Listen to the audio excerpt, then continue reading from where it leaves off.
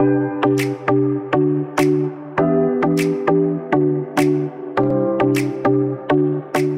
one of the few Kenyan students who got accepted into the Yale Young Global Scholars Program.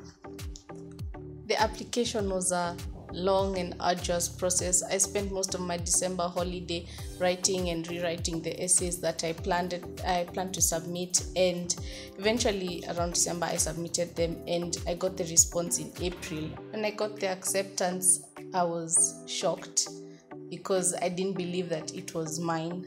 Um, the email was, you know, from Yale, an established institution, and it was coming to me. I never thought it would, you know, be my opportunity.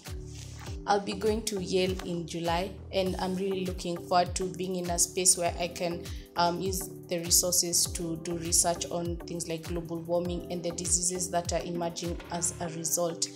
And one thing I really hope for is to learn more about the prevention and cure of these diseases. And if there isn't a cure, who knows, I might be the one to find